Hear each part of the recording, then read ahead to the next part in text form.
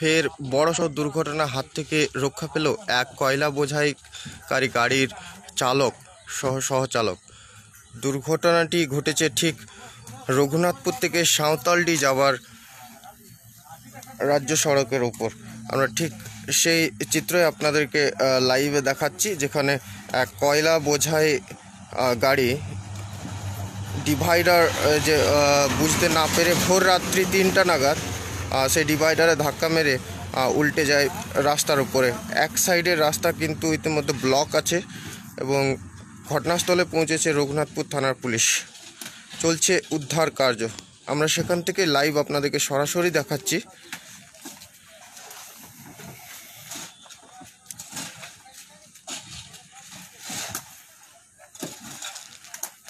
ঠিক একই জায়গায় কিন্তু বারবার দুর্ঘটনায় ঘটে। এর আগেও অনেকবার ঠিক একই জায়গায় দুর্ঘটনা ঘটেছে, এবারও ঠিক সেই জায়গাতেই যেখানে ভোর রাত্রিবেলায় ডিভাইডার বুঝতে না পেরে নিয়ন্ত্রণ ডিভাইডারের উপর ধাক্কা মেরে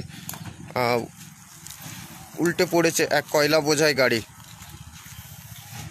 তবে দুর্ঘটনায় হতাহতের কোনো খবর নেই বলে জানিয়েছেন রঘুনাথপুর থানার পুলিশ এবং ঘটনাস্থলে আছে রঘুনাথপুর থানার পুলিশ। উদ্ধার কার্য চলছে ইতিমধ্যে এবং রাস্তা যত জলদি সম্ভব এই রাস্তা ক্লিয়ার করার চেষ্টা করা চলছে। আমরা সেখান থেকে সরাসরি লাইভ আপনাদেরকে দেখাচ্ছি।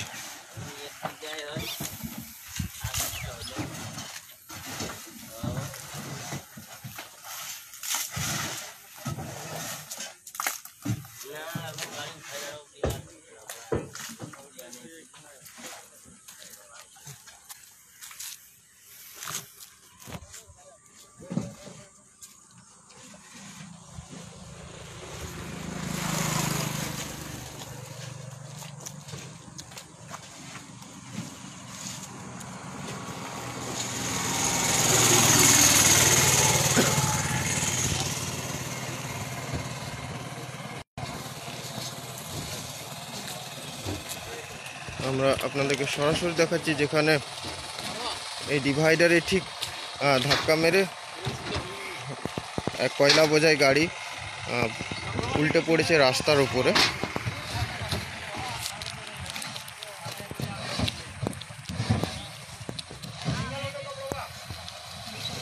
ইতিমধ্যে যেটা জানা যাচ্ছে, এটা কিন্তু ভোর রাত্রি তিনটে নাগাদ এই ঘটনা ঘটেছে। এই ডিভাইডারের সাথে ধাক্কা খেয়ে ঠিক রাইট সাইডে যেটা যেটা একদিকে যাচ্ছে রঘুনাথপুর এবং অন্যদিকে যেটা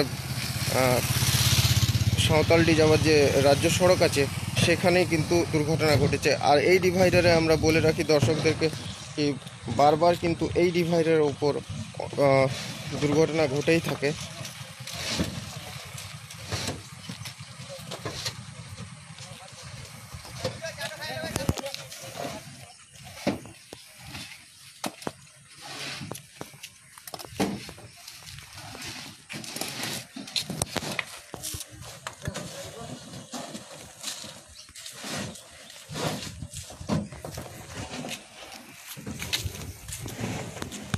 রঘুনাথপুর এসডি অফিস থেকে ঠিক বলতে গেলে তিনশো তিনশো চারশো মিটার দূরেই কিন্তু এই দুর্ঘটনাটি ঘটেছে, যেখানে এক কয়লা বোঝাই তার গাড়ি ডিভাইডারে ধাক্কা মেরে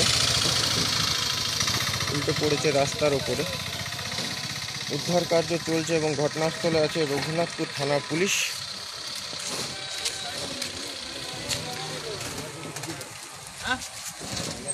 দুর্ঘটনাটি ঘটেছে রঘুনাথপুর সাঁওতালডি যে রাজ্য সড়ক আছে তার উপর।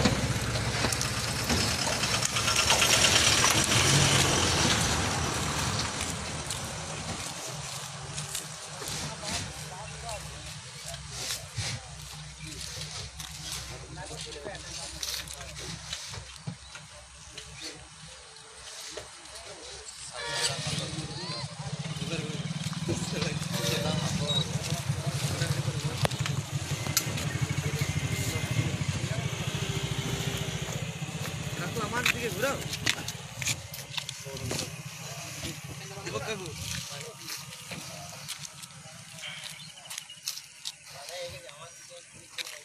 এ, এ, ভালো করে নে, ভালো করে নে, পাকড়ি বানা, ভালো করে